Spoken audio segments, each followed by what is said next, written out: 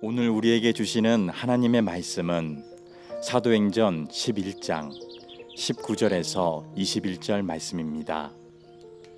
그때에 스테반의 일로 일어난 환난으로 말미암아 흩어진 자들이 베니게와 구브로와 안디오까지 이르러 유대인에게만 말씀을 전하는데 그 중에 구브로와 구레네 몇 사람이 안디옥에 이르러 헬라인에게도 말하여 주 예수를 전파하니 주의 손이 그들과 함께 하심에 수많은 사람들이 믿고 죽게 돌아오더라. 아멘. 현재 아르헨티나에서는 20세 이하 축구 월드컵 대회가 열리고 있고 우리 어린 선수들이 지난 금요일 에콰도르를 이기고 8강에 어, 진출해 있습니다. 새벽 경기를 보게 되었는데 어, 그 축구 강국의 나라들에 비해서는 우리나라 선수들이 슈퍼스타는 없습니다. 그러나 조직력으로 끈끈한 한국 축구의 그런 공동체성 이런 걸 가지고 결국 좋은 성적을 거둬서 아, 지금 기대를 하고 있지요. 어느 스포츠든 늘 스포츠를 관람하면서 느끼는 것은 그 팀에 슈퍼스타 같은 선수가 있다는 것은 참 좋은 겁니다. 그러나 그렇다고 해서 반드시 승리를 보장하는 것은 아니다. 오히려 슈퍼스타는 없는데 어, 그 선수들이 비슷한 선수들끼리 책임감을 가지고 더 열심히 그 팀워크를 위해서 각자의 자리에서 역할을 다할 때 의외로 좋은 결과를 맞이하는 경기를 많이 목격하게 됩니다. 저는 교회도 사실은 교회 저력은 아, 몇몇 유명한 사람들이 그 교회에 있기 때문에 교회를 끌고 가는 힘에 의해서 교회가 진짜 좋은 교회가 되는 게 아니라 좋은 교회는 성도들이 한 사람 한 사람 각각의 역할을 잘 감당해서 있는 듯 없는 듯 유명한 사람은 없는 것 같은데 그 교회가 힘이 있고 세상에 나가서 어떤 역경과 어려움 앞에도 당당히 맞설 수 있는 교회가 정말 좋은 교회예요. 저는 우리 교회가 꼭 그런 교회가 되기를 축복합니다. 사실 우리는 세상을 살면서 여러 가지 실력을 갖춰야 되지만 그리스도인에게는 믿음의 실력을 갖춰야 됩니다. 실력이 없으면 세상에서 무시당합니다. 실력이 없으면 어, 정말 경쟁에서 싸움에서 지게 됩니다. 그래서 우리는 실력을 갖춰야 돼요. 결국 우리에게는 믿음의 실력으로 세상의 어떤 장애물이나 우리가 경쟁에서 이기는 사람이 되어야 되는데 문제는 각각의 믿음의 실력을 어떻게 더 키워낼 수 있을까? 이걸 어떻게 내가 믿음의 실력을 높일 수 있을까에 대해서 우리가 잘 모른다는 거예요. 그래서 오늘 아, 원래는 오늘이 저희 감리교회 교회력으로는 평신도 주일이에요. 그래서 오늘은 이 평신도들이 교회에서 어떤 역할을 해야만 정말 교회가 실력 있는 교회가 되고 또 여러분도 각각의 자리에서 정말 멋진 그리스도인으로 살아갈 수 있을까? 이런 고민을 가지고 오늘 설교를 어, 만나보도록 하겠습니다. 지난 시간에 120명의 사람들이 마가의 다락방에서 성령을 받죠. 그러면서 어, 그들에 의해서 교회가 세워지는데 그것이 이 땅의 최초의 교회로 불려지는 예루살렘 교회입니다. 이 예루살렘 교회의 가장 그 특징 중에 하나가 뭐냐면 외부인들이 봤을 때, 야, 저 사람들 뭐가 저렇게 좋을까? 뭐가 저렇게 행복할까? 이런 느낌을 줬다는 거예요. 그러니까 내부에 모인 성도들끼리 행복하고 은혜를 받는 것 넘어서 그 예루살렘 교회의 많은 유대교 또는 다른 교회 바깥의 사람들이 봤을 때 저 사람들 뭐가 저렇게 좋고 뭐가 저렇게 행복해서 저렇게 열심히 모이고 날마다 교회에 저 사람들이 자신의 삶을 드릴까? 이것을 외부 사람들이 느꼈다는 거죠. 여러분, 우리는 때로는 나만 예수 잘 믿으면 돼. 뭐, 다른 사람들은 당연히 우리를 그렇게 볼 거야. 이렇게 딱 그런 고착화된 생각으로 외부 사람들의 평가를 너무 무시하는 것도 우리로서는 옳지 않은 것 같아요. 그걸 너무 의식할 필요도 없지만 적어도 우리의 모습을 보고 외부 사람들이 야, 교회 다니는 사람들 뭐가 있긴 있나 봐. 저 사람들 이 바쁜데 꼭 주일이면 교회 가고 일주일에도 몇 번씩 교회 가서 자신들의 삶을 나누고 뭐가 있을까 도대체? 저 사람들 저렇게 행복한 이유가 뭘까? 그래서 궁금증을 갖게 해주고 그 사람들이 인정하게 만드는 것은 대단히 중요한 숙제예요, 우리한테. 의뢰이 세상에 안티도 있고 교회를 이해 못하니까 그럴 거야 라고 생각하면서 포기하는 것이 아니라 예루살렘 교회처럼 그 외부의 사람들이 그 교회 공동체가 행복하겠구나라고 인정하게 만들어야 돼요. 물론 예루살렘 교회가 다 행복한 건 아니에요. 사실은 외부적인 박해도 있었고 내부적인 갈등도 있죠. 사람들이 모이는 곳이니까. 그러나 그것들을 잘 이겨나며, 이겨내면서 외부 사람들이 봤을 때, 야, 저 교회 정말 사람들이 뭔가가 있는 것 같아 라는 느낌을 계속 주는 거예요. 그런데 오늘 성경의 포인트는 어디에 있냐면 이 예루살렘 교회에 교인들이 더 이상 버틸 수 없는 문제를 하나 만나요. 그게 뭐냐? 이 기독교 역사의 아주 중요한 분기점이 되지요. 그게 사울이라는 사람의 등장이에요. 사울은 요즘 말로 말하면 아주 젊고 유능한 유대교의 신진 학자예요. 새롭게 해성처럼 등장한 사람이에요. 근데 이 사람이 굉장히 강성입니다. 작심하고 교회를 박해하기 시작합니다. 닥치는 대로 사람들을 체포하고 감옥에 가두고 심지어 잔인하게 고문하면서 예수를 부인할 때까지 사람들을 괴롭히는 거예요. 여러분, 때로는 종교적 자기의 신념이 신의 뜻과는 전혀 배치되는 삶을 사는 맹신적인 신앙을 가진 사람들이 있어요. 그 대표적인 게 자기 신의 영광을 위해서 또는 자기 신이 그런 것을 원한다고 착각하면서 무슨 자살 테러라든지 폭탄 테러라든지 아니면 전쟁을 일삼는다든지 타 종교인에 대해서 물리적인 어떤 폭력을 쓴다든지 그것이 자기가 믿는 신을 위해서 가장 자기가 영광을 돌리는 일이라고 착각하는 거예요. 기독교는 물론 그런 게 전혀 아니지만 어느 종교에도 종교의 가르침 가운데 그런 게 있을까요? 상대를 무찌르고 잔인하게 그 살해하거나 심지어 생명들을 빼앗아 가면서까지 정복자적인 그런 가르침을 주는 종교가 과연 맞는 종교일까요? 이건 사람들이 잘못 해석하는 거예요. 지나친 자기의 신념, 자기 착각 속에 그렇게 하는 것이 내가 내가 믿는 신에게 도리를 다하고 최고의 영광을 올려드리는 거라고 생각해요. 그 대표적인 사례가 사울이에요. 유대교인으로서 예수 믿는 그 그리스도인들을 핍박하는 것이 하나님께 자기의 가장 귀한 본분이고 직책이라고 생각하는 거예요. 그 착각하면서 많은 그 기독교인들을 팍, 저, 그 핍박하게 되는 거예요. 근데 이 핍박이 얼마나 심했는지 예루살렘 교인들이 견디지를 못하고 도망을 치게 됩니다. 물론 그때도 사도들은 사도들은 지금으로 말하면 목회자죠. 이 사람들은 예루살렘을 지켜요. 그러나 교인들이 너무 힘드니까 이 박해가 너무 고통스러우니까 일단 본능적으로 예루살렘 교회를 떠나게 되고 피하게 돼요. 이때 사울이 착각합니다. 자기가 예루살렘 교회를 핍박했더니 그 예배당이 점점점 텅텅 비어 있는 모습을 보면서 아, 자기가 이겼다 이렇게 생각해요.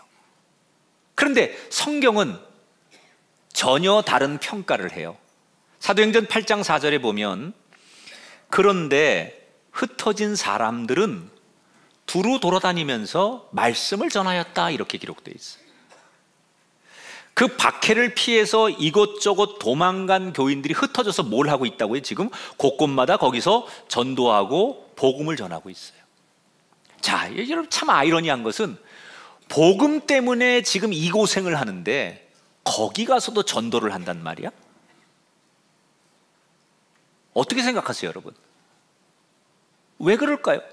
아니, 복음 때문에 지금 핍박을 받고 도망자가 되고 복음 때문에 뿔뿔이 흩어졌는데 거기 가서도 그 복음을 전하고 있어요.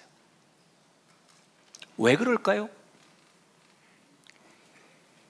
예수님을 인격적으로 진심으로 만난 사람들은 그럴 수밖에 없습니다. 제대로 만나면요, 내가 복음 때문에 어려움을 당해도 그 복음을 전하지 않고는 견딜 수 없는 거예요. 내 안에 말씀이 살아있고 그 뜨거운 말씀이 내 안에 동력이 되는 사람은 내가 복음 때문에 어려움을 당했어도 그 복음을 전하지 않고는 견딜 수 없는 거예요. 그래서 예루살렘을 떠났지만 그들은 곳곳에서 예수님은 버릴 수 없는 거죠. 교회는 등질 수 있어요. 그러나 예수님은 버리지 못하는 거예요.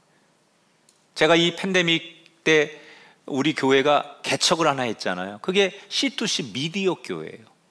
하나님이 어느 날 저한테 이런 감동을 주시더라고요. 우리 주변에 교회에서 상처를 받고 교회를 나가지 못하는 성도들이 점점 많아져요. 이 사람들은 뭐 때로는 목사님 때문에 상처받고 또 자기 교인들끼리 상처받고 어떤 제도권에서 상처받고 자기 생각과 다른 충돌적인 것 때문에 갈등하면서 교회를 못 나가는 거예요. 나가면 자꾸 사람들을 부딪혀야 되니까.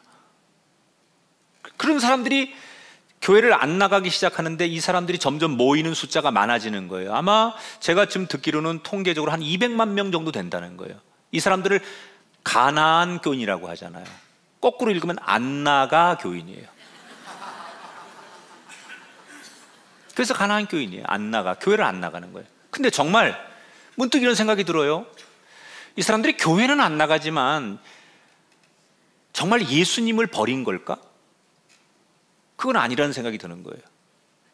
교회를 지금 사람들과 부딪히는 것 때문에 아픔 때문에 제도적인 문제 때문에 교회를 나가지 못하지만 이 사람들이 예수님까지 버린 건 아닐 텐데 이 사람들을 너무 우리가 다른 시각으로 바라보는 것도 문제다. 그러면 누군가는 당장 교회로 나오지 못하는 이 사람들에게 중간지대에서 내가 예수님을 버리지 않은 사람으로서 그 자리에서 예수님과 관계할 수 있는 예배자가 될 수 있는 공동체를 만드는 게 좋겠다. 그게 미디어 교회였던 거예요.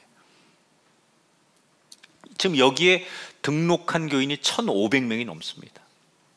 근데 정말 열심인 사람들은 매주 이 예배를 정말 자신의 거룩한 성전이라고 생각하고 정결하게 예배하고 이곳에서 기도하고 소그룹 활동을 하고 헌신도 하고 11조도 하고 그런 교인들이 점점점 많아지는 거예요. 그러니까 지금 이 예루살렘 교인들이 예루살렘 교회를 떠났다고 해서 교회를 등졌지 예수님을 버린 건 아니라는 거예요. 근데 지금 이렇게 흩어져서 복음을 전하는 사람들이 누구예요? 사도들이 아니에요. 이름 없는 평신도 성도들이었던 거예요. 평범한 성도들. 그러니까 예루살렘 교회는 사도들의 교회가 아니라 아주 평범한 성도들 하나하나가 믿음이 충만한 교회, 그들이 예수님을 위해서 살아가는 교회, 그게 예루살렘 교회였던 거죠. 그래서 이 예루살렘에서 흩어진 사람들이 곳곳에 들어가서 교회를 세우고 교회를 부흥시키는 거예요. 뭐 사마리아 교회, 뭐 당시에 요바나 다메석 같은 도시에 이 예루살렘에 있던 교회들이 흩어져서 들어가서 그 지역의 복음의 볼모지였던 곳에 교회가 세워지기도 하고 그곳에 뭐 정말 조그만 교회들이 크게 부흥하는 계기를 이 사람들이 주는 거예요. 박해가 교회를 망하게 하는 줄 알았더니 오히려 더 교회를 잘하게 만들었어요.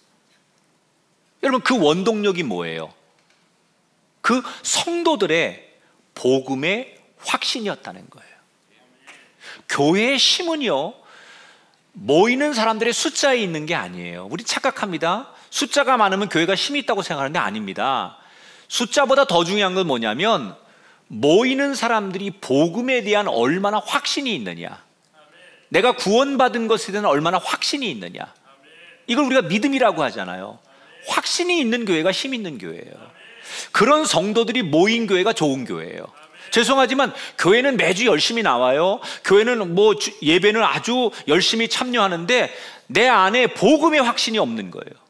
내가 예수 그리스도의 이름으로 구원받고 내가 정말 하나님 나라에 이를 때까지 하나님의 백성이라는 자기 확신이 없으면 정말 이건 죄송하지만 안타까운 성도지요. 교회를 나오고 있는 것으로 만족하는 게 아니라 내가 믿는 복음에 대한 확신이 있는 그런 교인들이 모이는 교회가 정말 좋은 교회다. 그게 진짜 예수 믿는 사람이다. 혹시 나는 정말 오랫동안 교회를 다녔지만 복음의 확신이 나 없는 것 같아. 그런 분들에게 제가 건면하는 걸 기도하십시오. 하나님 내게도 복음의 체험을 주세요.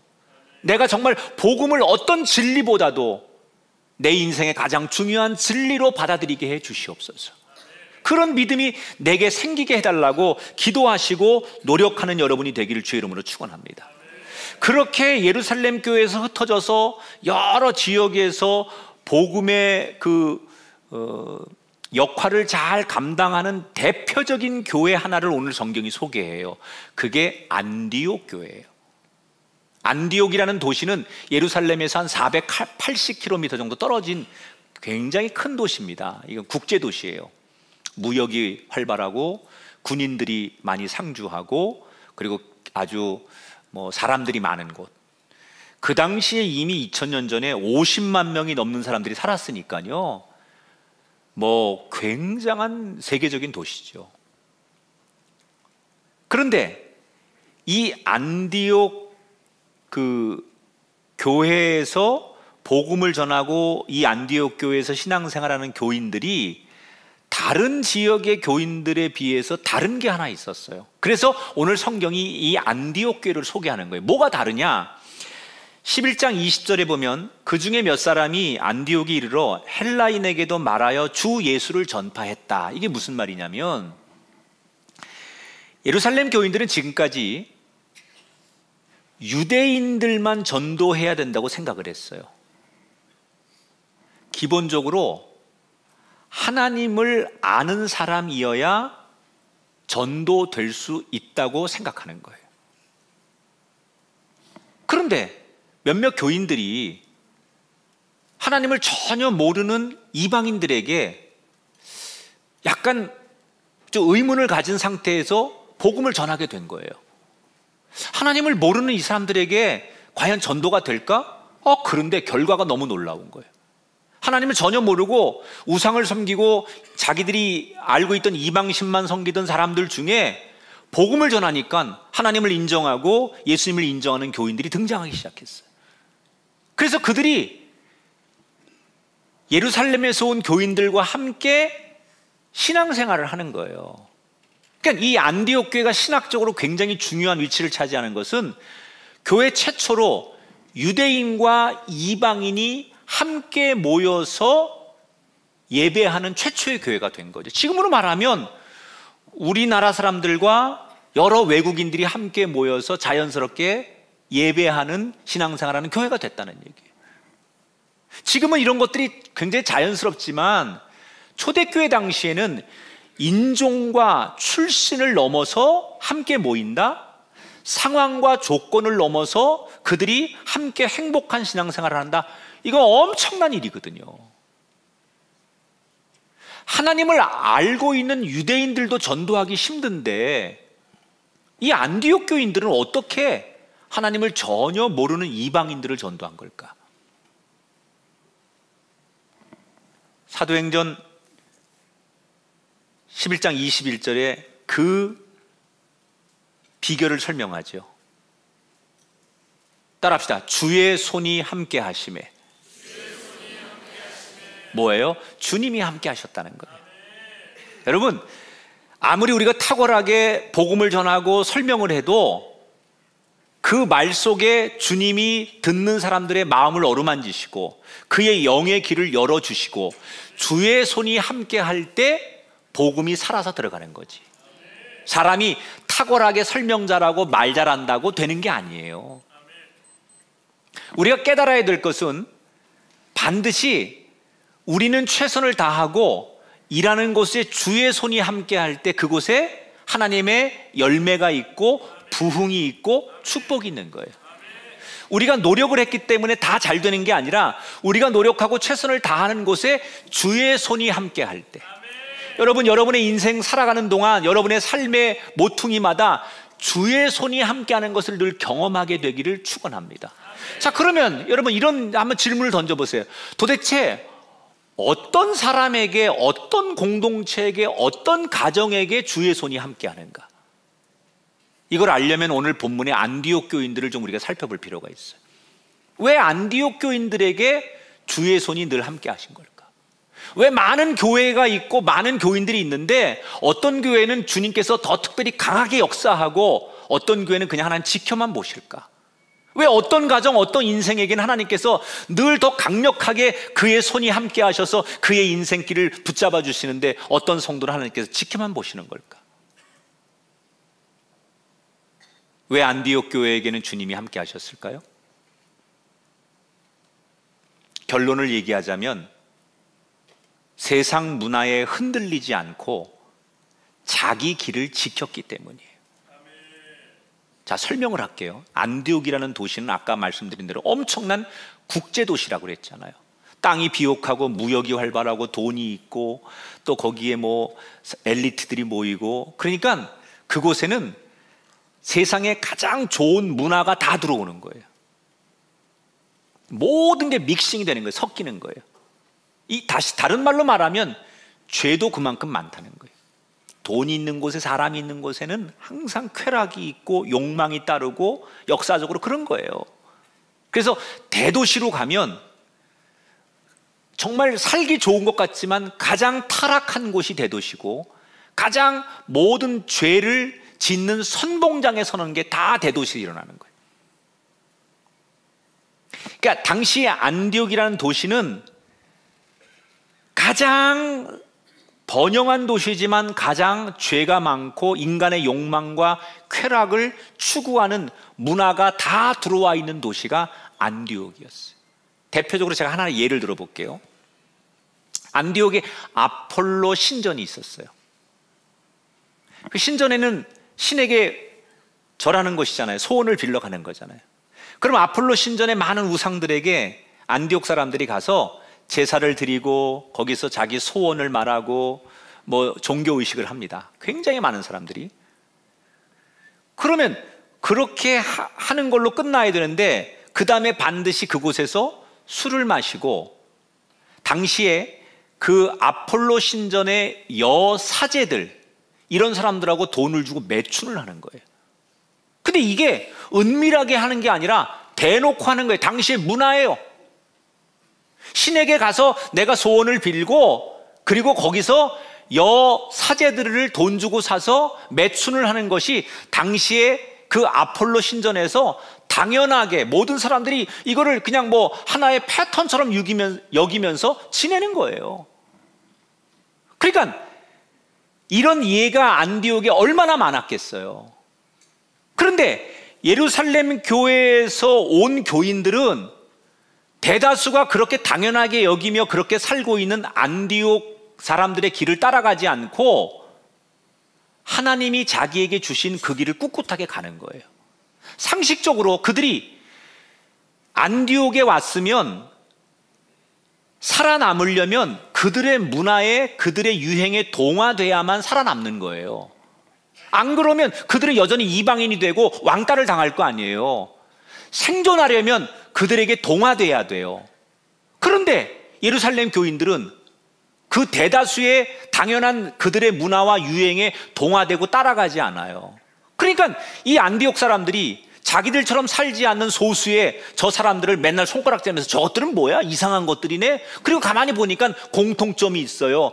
예수를 믿고 따르는 사람들, 예수 그리스도를 따라가는 무리들, 저 사람들만 다르게 사는 거예요. 그래서 사람들이 손가락질하면 비웃지. 아, 저 예수 그리스도를 따르는 사람들. 그래서 여기에서부터 그리스도인이라는 말이 유래가 된 거예요. 그 사람들이 그리스도인이라는 말은 원래 조롱하면서 저거 이상한 것들이네. 우리처럼 이렇게 즐기고 우리처럼 행복하게 살지 않는 저 사람들 이상한 사람들이라고 손가락질하며 조롱할 때 부르던 말이 그리스도인이에요. 그런데 시간이 점점 지나면서 조롱하는 사람들 속에 혼자 야, 저 사람들은 도대체 누굴까? 어떻게 하면 저렇게 살까? 나도 이렇게 타락된 삶을 살지만 사실은 나도 저렇게 살고 싶어. 내 자식들은 나처럼 살게 하면 안 돼. 나도 내 자식들에게 저런 삶을 살게 해주고 싶어. 이렇게 스스로 이 그리스도인들을 보면서 이들의 부러움, 이들을 보면서 느끼는 사람들이 하나둘씩 자원해서 이방인들이 나도 이제 이렇게 살지 않고 저 사람들처럼 살고 싶어. 그래서 스스로 교회를 찾아오는 사람들이 생기기 시작하는 거예요. 그러니까 복음을 전해서 그 복음을 받아들이고 교인이 되는 사람도 있지만 그 교회 구성원들을 보면서 야 나도 정말 이 세상에서 이렇게 사는 거 너무 싫고 저렇게 살아봤으면 좋겠어 그래서 그들 무리 속에서 그렇게 살고 싶어서 자원해서 교회를 찾아오는 사람들 때문에 안디옥 교회가 부흥하는 거예요 여러분, 안디옥 교회가 뭘로 부흥해요? 복음의 확신으로 누가 뭐래도 내가 가야 될 길을 묵묵히 걸어가는 교인들 때문에 부흥하는 거예요. 마치 좀 비유하면 시대가 변해도 자신의 길을 묵묵히 걸어가는 사람들을 우리 시대의 장인들이라고 해요. 뭐 세상이 엄청나게 첨단으로 바뀌어도 여전히 불편해도 묵묵히 자기의 방식과 자기의 길을 고수하며 걸어가는 사람들을 가리켜서 장인 정신이 있다 그래요. 우리가 제가 최근에 그 읽은 이제 책들이 이런 책들인데 그 2022년에 나온 책이 살아가다 일하다 만들다라는 책. 그리고 올해 3월에 나온 소프트웨어 장인 정신이라는 책을 읽었는데 이 책에서 내용을 강조하는 게 시대의 흐름에 휩쓸리지 말고 어쩌면 조금 자기의 철학을 가지고 정직하고 책임감 있게 살아가는 사람들이 현대 사회에서 성공할 수밖에 없다. 그러니까 장인 정신을 가지라는 거예요. 여러분 결국 명품 브랜드의 비결이 뭘까요? 명품은 대개는 다 수제잖아요. 한 땀 한 땀 최선을 다해 만드는 장인 정신이 깃들여 있기 때문에 그걸 명품이라고 하는 거예요. 결국 우리 사회에서 효율성 따지고 편리함을 따지지만 결국 우리 사회에서 이기는 방법은 장인 정신을 우리 사회가 주목한다는 거예요. 제가 여러분에게 드리고 싶은 얘기 그거예요. 그러면 교회도 사실 어떤 사람이 이길까? 영혼의 장인이 필요해요. 하, 요즘 같은 세상에 저렇게 신앙생활하고 저렇게 믿음 생활하는 그런 사람들이 있어. 그래서 그것을 약간 의아하게 보지만 그 사람들이 계속 그 길을 가는 걸 보면서 사람들 스스로 느끼는 거예요. 야, 내가 저렇게 살지 못해서 그렇지. 저 사람 참 멋있는 사람이다. 어떻게 저렇게 묵묵히 자기 길을 걸어가는 어, 인생이 될까? 그 사람을 보면서 영혼의 장인 정신을 보면 사람들이 부러워도 하고 동의를 하기 시작하는 거예요. 여러분, 때때로 우리가 그리스도인으로 산다는 것은 세상과 똑같이 사는 것이 아니라 내게 주어진 길을 가기 위해 세상이 거대한 물줄기로 모든 것을 유행처럼 끌고 가도 내게 허락하신 그 길을 묵묵히 걸어가는 영혼의 장인 정신으로 걷는 사람들. 하나님은 그 사람들을 주목하시는 거예요. 그리고 그 사람들이 위해 하나님은 은총을 내리시고 그 사람들을 하나님이 들어서 쓰시는 거예요. 바라기는 우리 교회가 여러분의 가정이 여러분의 일생과 여러분의 자녀가 정말 이 시대에 영혼의 장인들이 되셔서 하나님이 주목하시고 하나님이 들어쓰시는 인생들이 되기를 주의 이름으로 축원합니다. 사실은 저는 요즘 제가 고민하는 것은 많은 그리스도인들이 너무 하나님과 등을 돌리고 있는 건 아닐까. 그래서 어찌 보면 우리가 하나님과 영혼의 거리가 너무 멀어진 것은 아닐까. 여러분 이렇게 사람도 등을 돌리고 있으면요 안 보이잖아요. 서로 등을 돌리고 있으면 안 보여요. 그러면 불편하니까 안 보는 거겠죠? 저 사람 볼 일 없는 사람이거나 내 마음에 안 드니까 등을 돌릴 거예요, 서로가. 근데 이렇게 등을 돌리면 사람이라는 게 안 보이니까 내 등 뒤에서 무슨 일을 하는지 모르잖아요, 서로가. 그러니까 상상하는 거죠. 아, 내 등 뒤에 있는 사람이 지금 뭐 어떻게 하고 있을까? 상상하는 거예요. 보지 않고 말하는 건 다 상상이라는 거예요. 근데 그 상상이라는 게 좋은 상상이 아니라 아, 저 사람이 뭐 어떻겠지, 어떻겠지 막 상상하다 보면 불안해지고 부정적인 생각이 드는 거예요. 그러니까 이걸 극복하려면요. 등을 돌리고 있던 내가 돌아서야 돼요. 그래서 내 눈으로 상대를 봐야 돼요. 그러면 불안하지 않아요.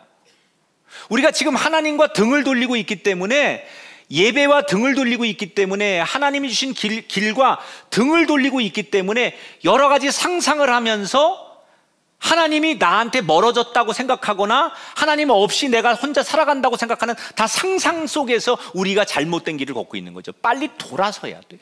그래서 지금 하나님과 나, 내가 어떤 위치에 있고 얼마나 멀어졌고 이걸 확인해야 돼요. 아, 내가 하나님과 이렇게 멀어졌구나. 내 인생에 언젠가 하나님과 이렇게 멀리 떨어졌지? 그러면 빨리 거리를 좁혀야 되거든요. 근데 우리가 돌아서는 걸 못하는 거예요, 지금. 여전히 등 돌린 상태에서 하나님과 내 거리가 이 정도겠지라고 자기의 착각 속에서 자기의 감정적인 것으로 하나님과 내 거리를 확인하려고 하다 보니까 우리의 믿음에 오류가 생기는 거예요. 돌아서세요. 빨리 돌아서세요. 그리고 내 눈으로 하나님을 보세요. 그런데 하나님이 여전히 내 앞에 계신다면 그 하나님과 교제하면 되겠지만 내가 생각했던 것보다 하나님과의 나와의 거리가 너무 멀리 떨어져 있으면 그 거리를 좁혀야 돼요. 사람도요, 멀리 떨어져 있으면 소리를 지릅니다.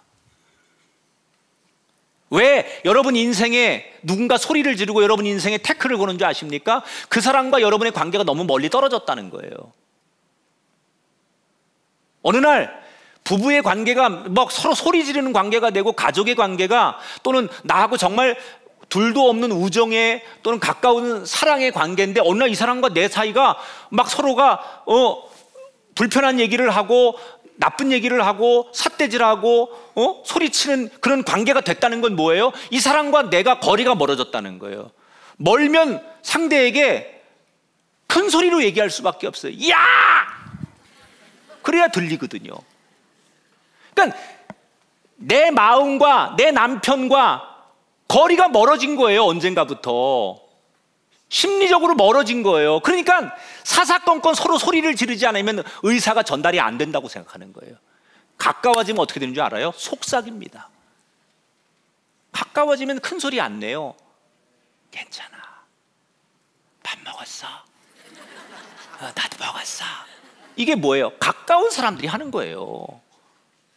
여러분, 누군가와 내가 지금 서로 소리를 지를 만큼 불편한 관계가 됐다. 멀어졌다는 얘기예요. 돌아서서 내가 다가가야죠. 그 거리를 좁혀야죠. 그럼 노력을 해야죠. 그래야 속삭이는 관계가 되는 거예요. 왜, 왜 오늘 한국교회가 이렇게 침체기에 들어오게 됐을까? 왜 성도들이 이렇게 자꾸 무기력하게 되는 걸까? 저는 하나님과의 거리 확인이 지금 안 되고 있다, 우리가. 확인해 보세요. 여러분, 등 돌린 상태에서 아 나는 괜찮아 나는 30년째 교회 다니고 아, 난 뭐 난 주일 안 빠지고 나 뭐 나는 그저 나는 다른 사람들이 신앙생활 잘하는 거야 그리고 등 돌린 채로 여전히 하나님과 내 거리는 딱 그 정도일 거야 라고 착각하는 거야 돌아서서 보세요 어? 깜짝 놀랄 거예요 여러분 이 체크가 안 되면 하나님과 나와의 거리가 좁혀지지 않으면 악을 쓰고 하나님 이렇게 악을 써도 안 들려. 하나님이 말씀하시는 게 안 들려. 그런데 이 거리가 좁혀지면 하나님 나 아파요. 하나님 나 오늘 슬퍼요. 하나님 나 오늘 그냥 그래요. 이렇게 중얼거리고 읊조려도 그 속삭임 속에 나와 내 이야기를 들으신 하나님을 만나게 되는 거예요. 그 하나님이 내게 괜찮아. 내가 있잖아. 힘내. 이렇게 말씀하시는 그 속삭임을 내가 듣고 위로를 받는 거 아니에요? 여러분 어쩌다가 우리가 이 팬데믹 때문에 하나님과 너무 멀어지지 않았습니까? 예배 생활 이렇게 하면 안 돼요. 여러분 이것 가지고 정말 이러, 이러, 이런 거리를 두고서 내가 신앙생활 이렇게 앞으로 계속하면서도 나는 하나님의 은혜를 입을 수 있다고 착각하는 건 그건 여러분의 정말 진짜 착각이십니다. 하나님과의 거리를 좁히셔야 돼. 친밀하게. 그 은혜가 여러분에게 있게 되길 축원합니다. 자, 바른 길을 가라. 세상에 휩쓸리지 말고 정말 그 여전히 장인 정신 가지고 걸어가는 영혼의 장인 정신을 가진 성도를 하나님은 주목하신다. 이게 첫 번째 평신도들이 이 세상에서 빛을 발할 수 있는 실력을 키울 수 있는 공식이에요. 두 번째는 어떤 게 있냐면 오늘 성경에 안디옥 교회에서 섬기는 사람들 중에 명단이 나오는데 그 중에 놀라운 이름이 하나 등장해요. 사울이에요. 사울은 예루살렘 교회를 핍박하는데 제일 앞장섰던 사람 아닙니까? 근데 이 사람이 어떻게 안디옥 교회에서 목회하는 사람이 되었어요. 잘 아시잖아요. 그가 담에색 도상에서 자기를 찾아오신 예수님 만나는 거예요. 세상에 제일 무서운 건요. 자기가 경험하고 자기가 만난 걸 이길 수가 없는 거예요. 체험이라는 것을 누구도 부인할 수 없는 거예요. 사람들이 저한테 그래요. 아, 우리 목사님은 진짜 목사 안 하고 아, 사업을 하시든지 그랬으면 진짜 잘했을 것 같아. 그렇게 봐줘서 고맙지만 내가 사업했으면 다 말아먹었을 거예요. 아니면 우리 목사님 진짜 딴 거 해도 참 아까워. 목회하기 너무 아까워. 무슨 말씀을 그렇게 하세요? 목사하기를 얼마나 잘했다고 생각해요? 어? 세상 성공하면 뭐 하겠어? 내가 목사 된 걸 너무너무 내가 행복하게 생각하고 정말 내 평생에 제일 잘한 게 목사 한 거예요. 근데 저는 사실 목사 될 만한 조건이 아니에요. 불신자 가정이지요. 예수 믿는 부모님도 아니죠. 누구 하나 박수 쳐주면서 너 목사라고 나한테 그렇게 권면하는 사람도 없어요. 뭐 정말 너무 고독하고 뭐 정말 이 목회를 하기엔 너무 턱없이 환경적으로 어려운데 왜 목사가 되느냐? 이유는 한 가지예요. 나를 찾아오신 예수님을 내가 만났는데 부인할 수가 없는 거예요. 그러니까 사울이 인생이 확 뒤집어진 게 뭐예요? 자기를 찾아온 예수님을 만난 거예요. 여러분, 주님을 만나십시오. 성령님을 만나십시오. 뜨겁게 만나십시오. 그 체험이 있어야 신앙은 탄력을 받아요. 그런데 사실 이 안디옥 교회 사울이 목회자로 등록하기까지는 몇 가지 포인트가 있습니다. 첫째는 원래는 안디옥 교회 먼저 목회를 시작한 게 바나바예요. 바나바는 굉장히 포용력 있는 사람이고 따뜻한 감성을 가진 사람이에요. 요즘 젊은이들 사이에는 야 너 티야 이래요. 너 너무 이성적인 사람이야? 뭐 이렇게 아, MBTI를 가지고 그렇게 물어보는 거예요. 너 그 정도 가지고 이렇게 따지고 그러냐 그럴 때 이제 자기들끼리 하는 얘기야. 너 그렇게 이성적이냐? 감성적이고 공감을 못 해주냐? 이렇게 놀릴 때 이제 하는 얘기. 너 T야 혹시? 이렇게 물어볼 때. 근데 바나바는 굉장히 감성적인 사람이에요. 그래서 다 품어요. 좋은 사람, 착한 사람. 그런데 이 바나바가 안디옥 교회 에서 목회를 하는데 여기서 목회는 언어가 돼야 돼. 헬라어를 해야 돼요. 외국 사람들을 목회해야 되니까. 그러니까 교회가 막 부흥하는데 자기 혼자 가지고는 안 돼요. 그래서 헬라어를 잘하면서 복음을 전하는데 아주 그 탁월한 사람이 누가 있을까? 좀 똑똑하고 이 사람들을 잘 교육하고 이럴 수 있는 사람이 누가 있을까를 그 바나바가 생각하면서 떠올린 인물이 사울이에요. 그러니까 누군가로부터 내가 기억된다는 것은 축복이에요. 여러분, 여러분의 능력이 안 되면 누군가가 여러분을 기억하게 하는 사람이 되길 축원합니다. 내 능력이 안 돼요. 사울은 사실 회심을 했지만 같은 유대교에서 자기들을 배신했다고 해서 사울을 끊임없이 공격하고 그의 목숨을 빼앗아 가려고 합니다. 그래서 사울이 목숨을 지키기 위해서 아무도 찾을 수 없는 시골로 숨어 들어갑니다. 그러니까 그렇게 14년을 지내요. 그런데 그때 아무도 자기를 주목하지 않고 14년의 시간이 지나서 아무도 쓰지 않으려고 할 때 바나바가 성령의 은혜로 자기를 기억하는 거예요. 인생은 때로는요, 내심이 아니어도 누군가가 나를 불러주고 누군가가 나를 세워주고 누군가가 나를 손잡아 줄 때 인생이 일어나는 거예요. 여러분 하나님은 그렇게 우리를 축복하는 거예요. 꼭 내가 목표에 도달하고 내가 뭔가 열매를 따야만 하나님의 축복이 아니라 나는 한없이 부족하고 주저앉아 있는데 누군가가 기억나게 하셔서 내 이름을 부르게 하고 누군가가 나를 추천하게 하고 누군가가 나를 돋보이게 만들어 줄 때 내 인생이 빛나는 거예요. 그런 은혜도 여러분 누리게 되길 바랍니다. 그런데 사실은 이 사울이 안디옥 교에 올 때까지 바 나바가 이 사울을 부를 때 기간이 14년 걸렸다고 했는데 저는 이게 보면 아무리 회심을 하고 사울이 대단한 사람이고 이렇게 기독교 역사에 엄청난 업적을 남길 만큼 훌륭한 사람이지만 하나님이 쓰시는 시간표는 정해져 있다는 거예요. 14년이라는 시간을 하나님은 기다리게 하시는 거예요. 오늘 이 자리에 계신 여러분 가운데 또 미디어로 예배하시는 분 가운데 분명히 사울처럼 14년이라는 시간을 기다리게 하시는 하나님의 은혜가 있는 분이 있을 거예요. 나는 열심히 일하고, 난 열심히 공부하고, 난 열심히 정말 최선을 다해서 직장 생활하고 자식들 키우는데 결과가 안 나오는 거예요. 왜 나는 안 될까? 난 누구보다 열심히 살고 정직하게 살고 최선을 다했는데 왜 나에게는 기회가 오지 않을까? 그래서 답답하고 낙심되고 절망하는 분이 있을 거예요. 왜 남들처럼 나는 안 될까? 한두 번에도 일어나는 사람이 있는데 나는 이긴 세월 동안 내가 이렇게 노력하고 부르짖고 애쓰는데 몸부림치는 내게는 왜 열배가 없는 걸까? 그런 분들 꼭 기억하세요. 당신에게 하나님이 마치 사울처럼 14년의 시간을 채우기를 기다리시는 사울이 내가 14년만 지나면 나가야지 그래서 나온 게 아니잖아요. 한없이 기다리게 하는 거예요. 앞이 보이지 않아요. 언제 내가 일어날지 몰라요. 언제 재기할지 몰라요. 그러나 그 기간을 하나님이 보시고 채우신 다음에 그를 끄집어 내셨을 때 그가 위대한 바울이 되는 거예요. 어떤 분에겐 분명히 내가 볼 때 장담하건대 지금 13년 11개월 온 사람이 있을 거예요.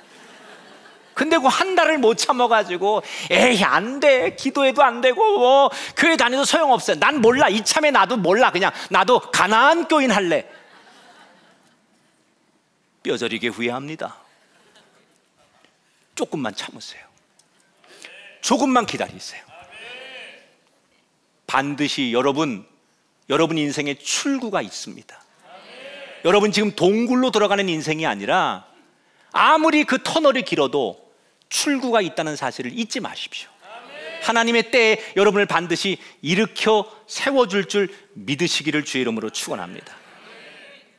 자, 그런데 이 사, 이제 사울이 나중에 바울이라는 이름을 가지고 개명해서 열심히 복음을 전하잖아요. 이 바울이 전하는 복음의 특징이 몇 가지 있습니다. 하나는 팀을 이룬다는 거예요. 왜 그렇게 하느냐, 바울이. 바나바가 자기를 불러줬거든요. 그래서 팀이 되고 자기를 공동체가 수용해 주는 것을 느낀 거, 경험한 거예요.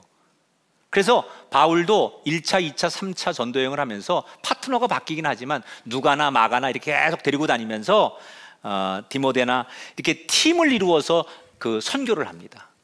그러니까 가장 좋은 전도나 하나님의 일은 혼자 하는 것보다 함께 하는 것이 성경적인 가치예요. 이걸 이걸 잘 우리가 받아들여야 돼요.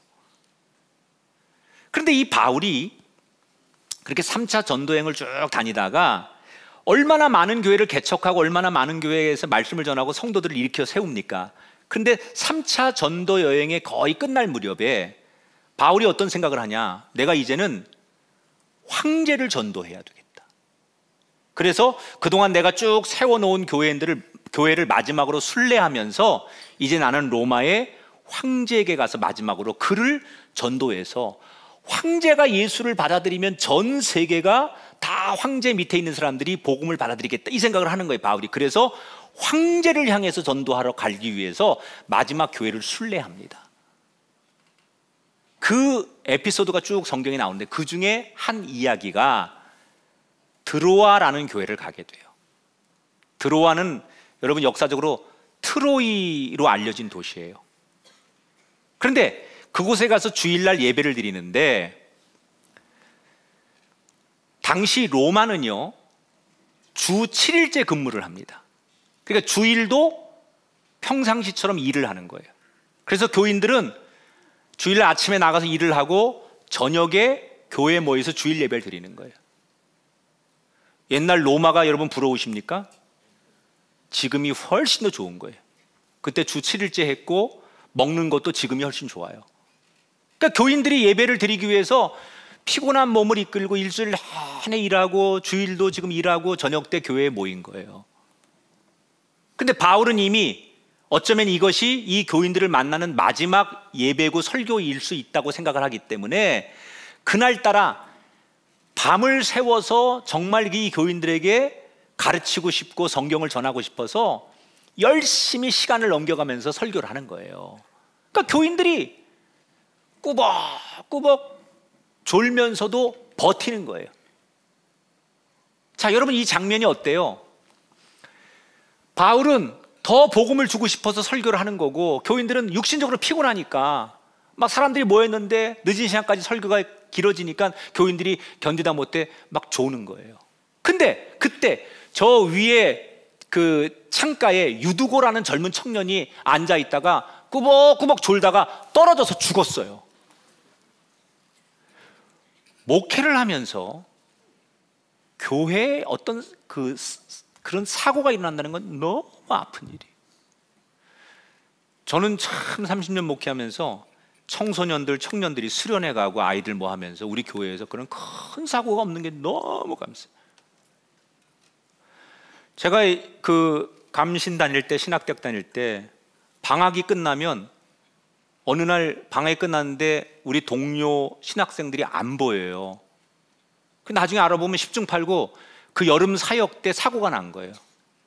뭐 중고등부나 청년부 아이들 데리고 수련회를 갔는데 아이들이 무슨 뭐, 뭐, 어디 수영하다가 심장마비로 죽었거나 뭐 아이들이 뭐, 뭐 하다가 사고가 나거나 심지어 어떤 교회는 수련회 가는 봉고차가 뒤집어져 가지고 몇 명이 사망하고 막 이런 사고가 나니까 이 신학생들이 방학 끝나면 휴학을 하고 그 충격을 못 이기고 그런 학생들이 굉장히 많았어요. 그래서 야 정말 방학만 잘 지내면 우린 정말 1년을 잘 지내는 거야. 뭐 이렇게 농담할 정도로.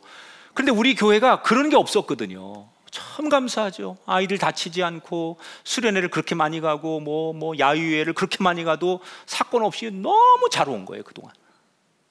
그러니까 여러분은 뭐 룰루랄라 놀러 가지만 목사는 잠이 안 옵니다. 어휴, 이것들이 또 가가지고 뭐 비행기 뭐 버스 뭐 자다가 또 무슨 뭐 어디 청년들 외국에 선교 나간다 그러면 조마조마한 거야. 이거 무슨 뭐 또 가서 무슨 이상한 일에 연루되는 건 아닐까? 뭐 가다가 이거 뭐 그 그런 그런 염려와 근심 걱정을 하지 말라고 하지만 현실적으로 목사가 그 걱정을 안 할 수 없는 거죠. 그러니까 아주 신경이 곤두서가지고 계속 보고를 받으면서 안전해야 된다. 안전을 신경 써라. 이 얘기를 계속 스태프들한테 메시지를 주는 거예요. 정말 하나님께서 그간 우리 교회 30년 동안 그런 큰 문제 없도록 하신 거예요. 아, 근데 유두고가 떨어져 죽었잖아요. 아니, 그러니까 은혜 받는 게 뭔 소용이 있어? 부흥회가 뭔 소용이 있어? 사람이 죽었는데. 그러니까 사람들이 난리가 난 거예요. 은혜 받다 말고. 근데 이때 바울이 뛰어내려가 가지고 이미 떨어져서 죽은 유두고를 안고 하나님 앞에 기도합니다. 하나님, 이 청년을 살려주세요. 그런데 그 바울의 기도에 죽었던 유두고가 살아납니다.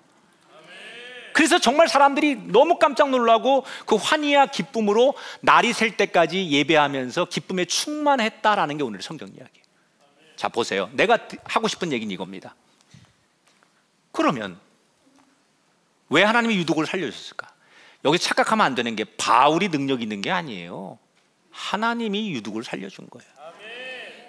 여러분 흔히 아 우리 목사님이 능력이 있어. 그래서 목사님께 안수 받으면 될 거야. 물론 그런 아주 착한 마음을 갖는 건 좋은데 목사님이 능력 있는 게 아니에요. 그 순간 하나님의 손이 함께 해야 돼.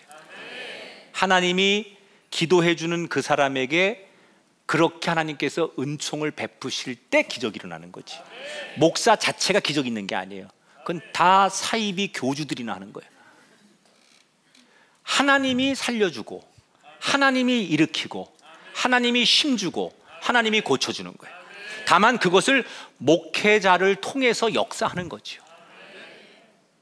그러니까 바울이 기도했지만 하나님께 살려주는 거예요. 그럼 왜, 왜 어떤 사람은 죽었다가도 살려주고 어떤 사람은 죽을 병에도 고쳐주고 어떤 사람은 망한 사람도 하나님께서 일으켜주고 왜 어떤 사람은 그렇게 하나님 축복을 주시는데 어떤 사람은 안 해주시느냐? 이게 불만이잖아요 여러분. 그죠? 그렇다고 고개 좀 끄덕거려봐요. 아니 도대체 누구는 그렇게 하나님의 은혜를 엄청나게 입는데 왜 누구는 안 되느냐? 이게 여러분 궁금하잖아요. 왜, 왜일까요? 간단해요. 믿음의 그릇이 하나님께서 부어 주실 만큼 준비되어 있느냐 없느냐를 보시는 거예요 그럼 도대체 이 유두고라는 청년 드루와 교회는 하나님 보실 때 하나님이 그런 기적과 축복을 베푸실 만한 믿음의 그릇이 뭘까? 뭐, 뭘 보고 하나님께서 그 유독을 살려주셨을까요? 전 딱 하나를 보는 거예요. 따라합시다. 졸린 상황에도 예배의 자리를 지키자. 자, 앞에서 말한 것처럼 교인들은 지금 하루 종일 일주일 내내 너무 열심히 일을 해서 육신이 한계가 있는 거예요. 피곤한 거예요. 그러니까 그 피곤한 몸을 가지고 예배에 왔으니 늦은 시간에 졸린 건 당연한 거예요. 근데 졸아요, 졸아. 막구먹먹 졸아. 그런데 하나님이 그걸 보신 거예요. 저렇게 졸리고 저렇게 졸더라도 저 청년이, 저 교인들이 이런 상황에서라도 내가 있어야 될 자리, 다시 말하면 예배의 자리를 반드시 지켜야 된다고 생각하는 그 중심을 보신 거예요. 여러분 하나님은 우리의 중심을 보시지 우리의 형식을 보는 게 아니거든요. 여러분이 정말 교회 나올 수 없는 상황인데 여건인데 여기는 내가 있어야 될 자리라고 생각해서 우선으로 그런 상황 그런 상황에 그런 일임에도 불구하고 예배의 자리를 지킬 때 하나님은 그 예배를 그 사람을 통해서 받으시는 거예요. 그러니까 당시에 유두고뿐만이 아니라 드로와 교회 교인들은 비슷해요 다. 육체적으로 너무나 피곤하고 지치지만 악착같이 예배를 나오는 거예요. 하나님 이걸 주목하신 거예요. 여러분 우리에게 이게 회복돼야 돼요. 악착같이 예배 나오셔야 돼요. 여러분 다 힘들죠? 우리가 예배에 대한 간절함이 없으면 절대로 하나님의 은혜는 일어나지 않아요. 예배에 대한 사모함, 간절함이 있어야 돼요. 물론 여러분 다 어려움이 있죠. 요즘 현대인들은 한 금요일쯤 되면 다 지칩니다. 파김치가 되요 파김치. 금요일쯤 되면 우선 몸이 무거워요. 그리고 마음도 힘들어요. 옛날에 일주일 열흘 산 거를 지금은 한 5일만 살아도 그만큼 사람들이 지치는 시대예요. 그러니까 사람이 금요일쯤 되면 다다 쉬고 싶고 파김치가 되는 거 다 보입니다. 그런데 그런 상황에도 어떤 사람들은 간절함으로 예배당에 나와서 심야 기도도 하고 새벽 기도도 하고 그 어려운 가운데 간절함을 가지고 주일 예배를 지키는 사람이 있어요. 하나님이 그걸 보시는 거예요. 그때 하나님이 역사하시는 거예요. 제가 이 간증하고 마칠게요. 제가 아는 방송국에 어느 음향 감독이 있는데 자기는 고등학교 2학년 때까지 꿈이 없었대요. 뭐를 해야 될지 목표가 없었대요. 근데 고3 때 자기가 진로를 정해서 음향 감독이 됐대요. 고3 때 꿈이 없이 그냥 공부만 열심히 하는 거예요. 어느 대학 갈지도 모르고.